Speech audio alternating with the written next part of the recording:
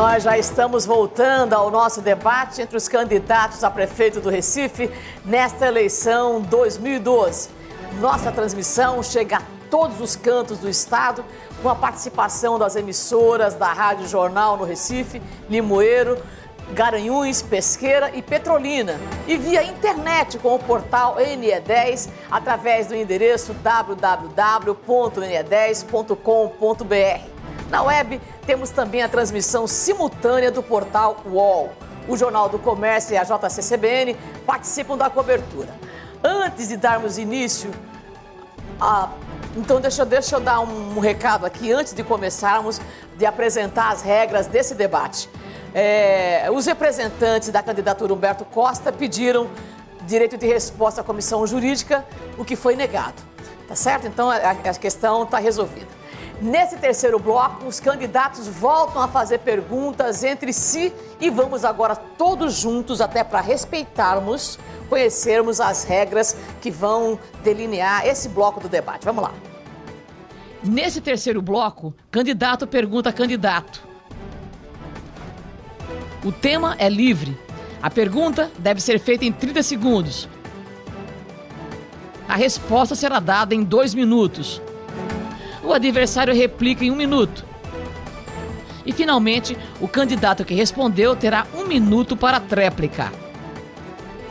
E como determina a regra do debate, é amplamente, coletivamente discutida e acatada, nós vamos sortear o candidato que fará a primeira pergunta neste bloco a um candidato da sua escolha. Lembrando que o tema da pergunta é livre. O primeiro a perguntar é o candidato Geraldo Júlio. Eu queria saber para quem o senhor pergunta, candidato? Candidato Daniel Coelho. Daniel Coelho, pois não. Daniel, o Recife é uma cidade que sofre muito nos dias de chuva. Ainda tem muitas áreas do Recife que ficam com alagamentos. Eu gostaria que você apresentasse de maneira concreta, de maneira clara e sincera, quais são as propostas que você tem para combater os alagamentos da cidade do Recife. Olha, além das obras infraestruturais, além da gente precisar trabalhar a manutenção dos nossos canais, nós precisamos trabalhar uma coisa, a educação ambiental. Boa parte dos alagamentos eles ocorrem exatamente porque as pessoas ainda jogam lixo no chão e porque os governos, sejam eles municipais ou estaduais, não trabalharam essa questão com a cidade.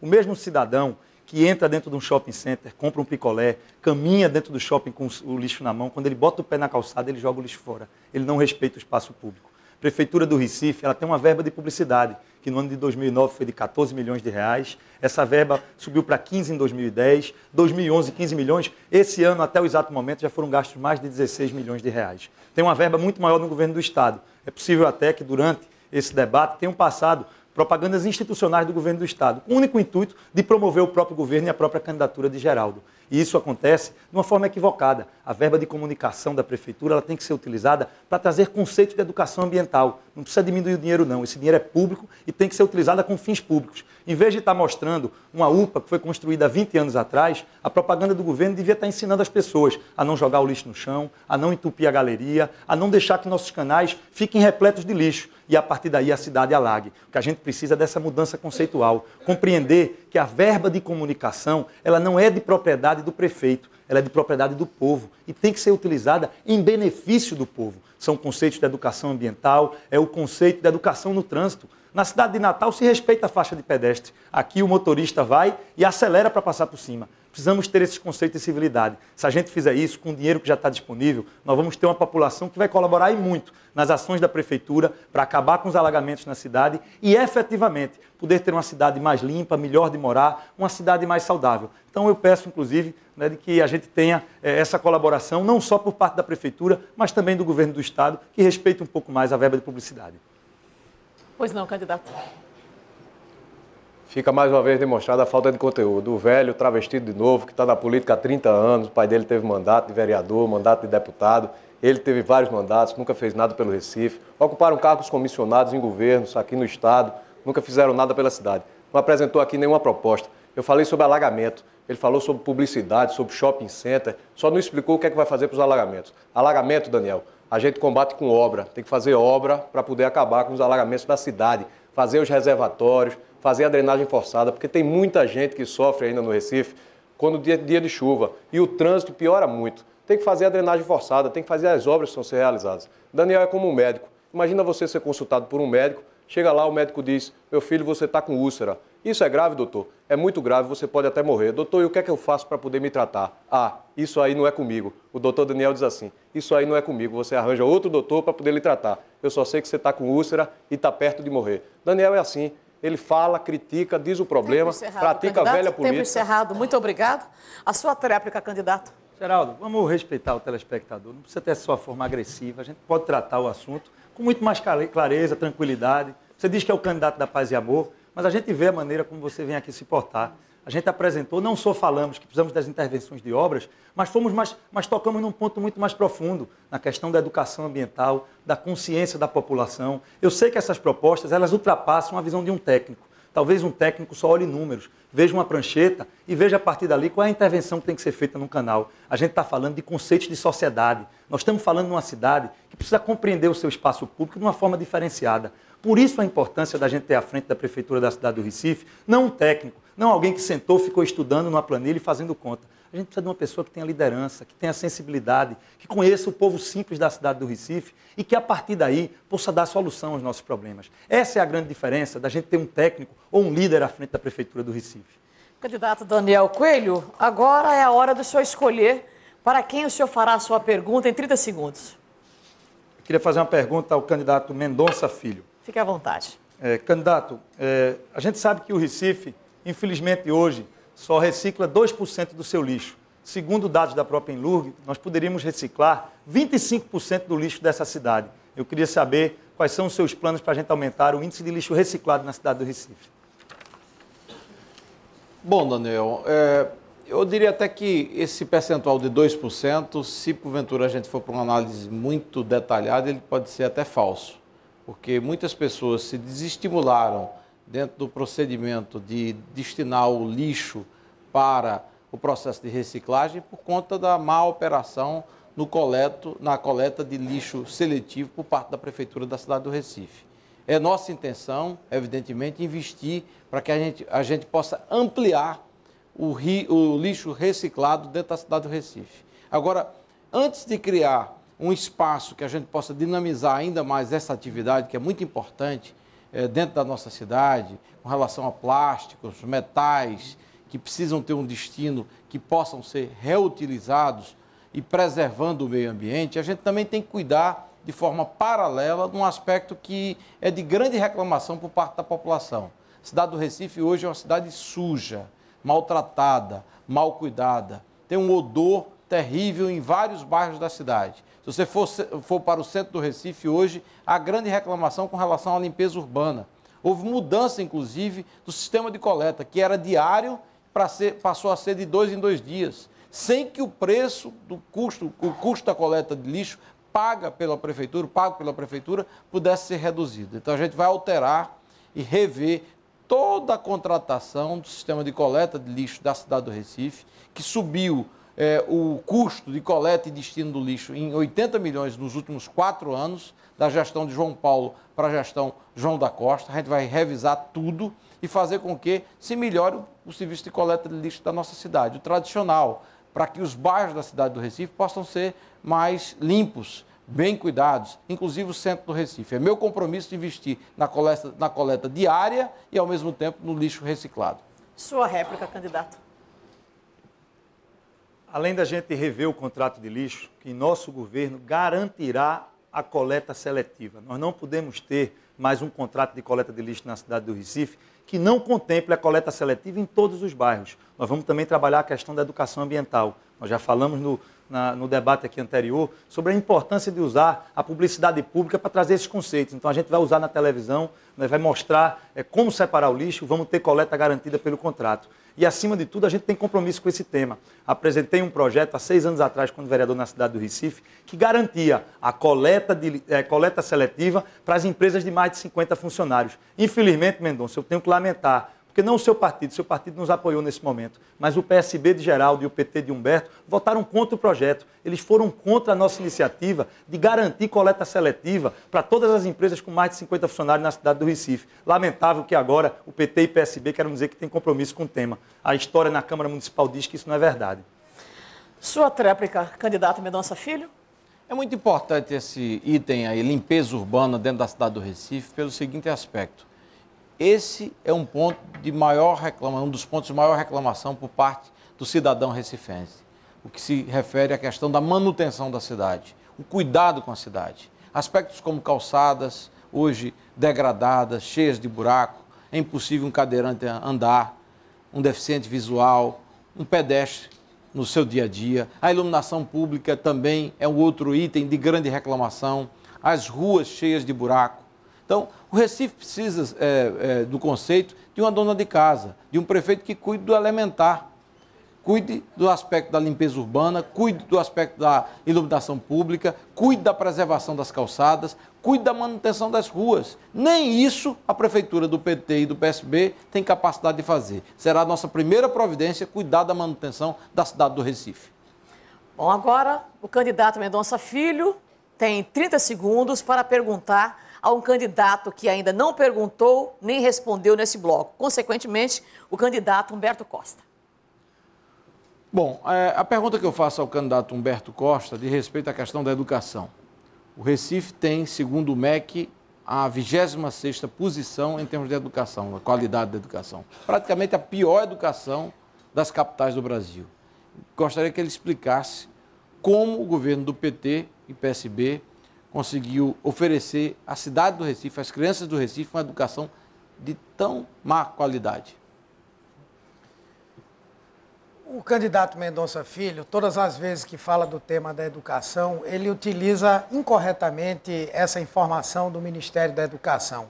É verdade que no segmento de quinta e sexta série, nós estamos um pouco abaixo da média nacional. Mas no segmento de oitava e nona série, o Recife está acima dos padrões nacionais. Da mesma forma que no governo do estado, nós temos segmentos em que a, o índice do IDEB é inferior à meta nacional e é pouco inferior nessa linha de quinta e sexta série, e rapidamente eu terei condições de, como prefeito, investir na qualidade para melhorar isso. Até porque Recife é uma das cidades do Brasil que mais investe em educação per capita. Enquanto a média do Brasil é de R$ reais por aluno, aqui nós temos um investimento que vai acima de 10 mil reais. E fizemos muitas coisas, 81 escolas, não havia fardamento escolar no governo de Mendonça Filho, no governo de Roberto Magalhães, nós demos fardamento escolar, a merenda nos finais de semana e nas férias também. Nós garantimos o livro didático, contratamos 4 mil professores para as escolas da nossa cidade e pagamos o piso nacional salarial do professor antes que o piso nacional viesse a ser é, implementado.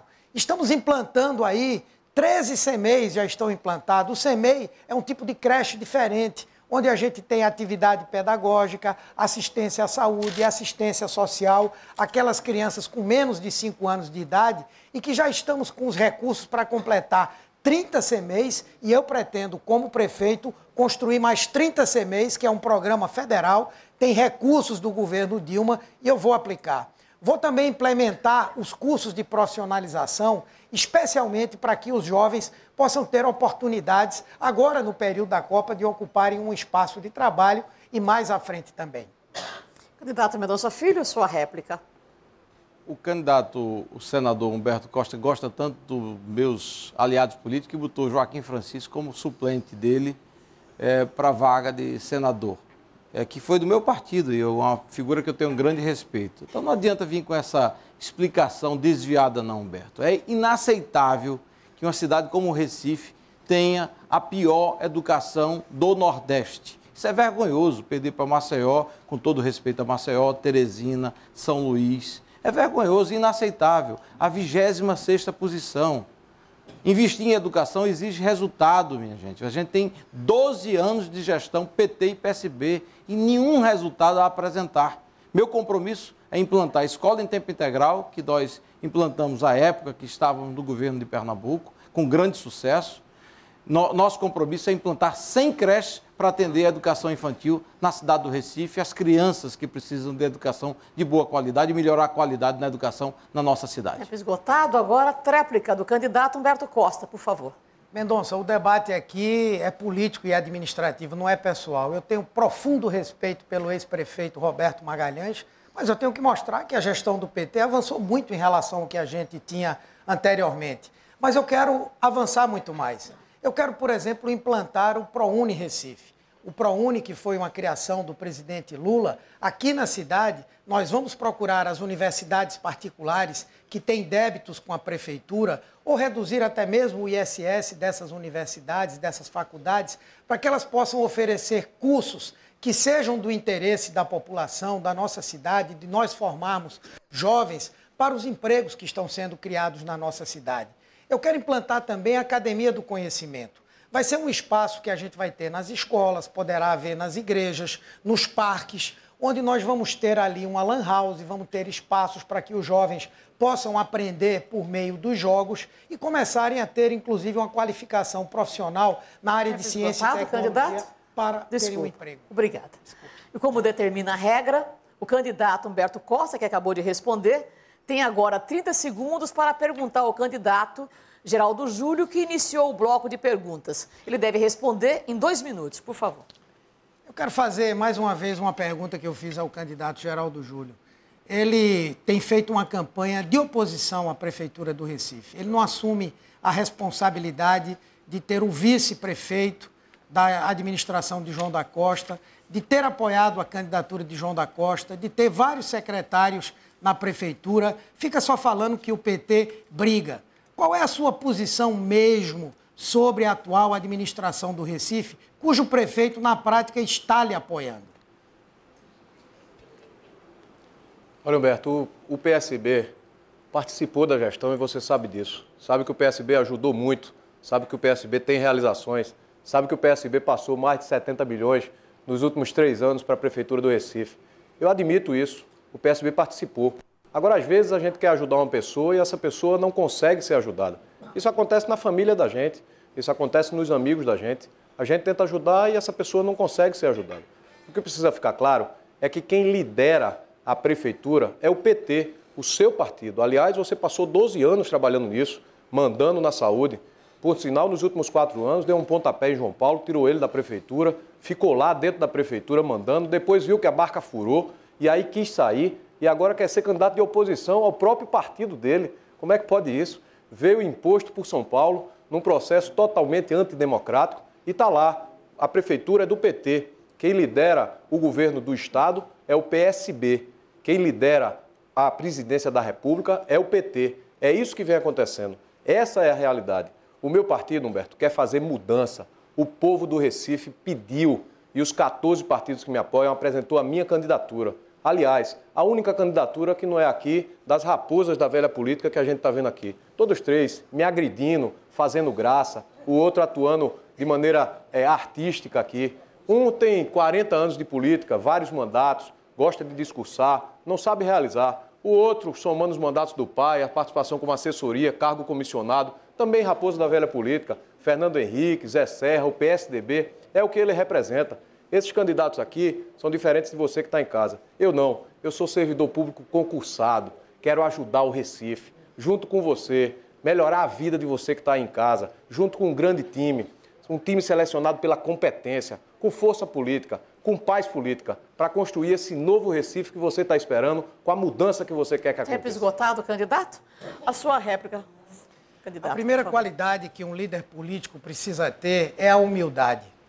A arrogância não leva a nada. Eu tenho aqui falado com absoluto respeito a todo mundo. Ele passa o tempo inteiro falando de que o PT briga. E o PT briga mesmo.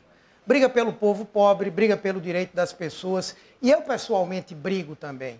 Em 98, Geraldo Júlio, quando Jarbas Vasconcelos, que está lhe apoiando, tentava humilhar a Raiz em cima do escândalo dos precatórios e Eduardo também, eu briguei ao lado de Arraes, eu era o candidato a senador dele. Em 2006, quando o Eduardo brigou com Mendonça Filho para ser o governador do estado no segundo turno, eu briguei ao lado de Eduardo.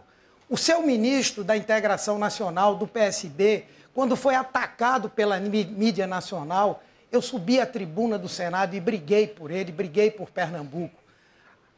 A deputada Ana Reis, quando foi escolhida para o Tribunal de Contas e foi ser votada lá no plenário do Senado, o senhor Jarbas Vasconcelos atacou ela e o governador. Acabou e quem brigou por ela e por Eduardo fui eu. Acabou seu tempo. Desculpa.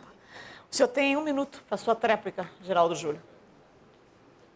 Olha, Humberto, eu não vou entrar nesse jogo. Eu não vou entrar nessa rinha, eu não vou ficar nessa briga. O povo do Recife cansou dessas brigas do PT.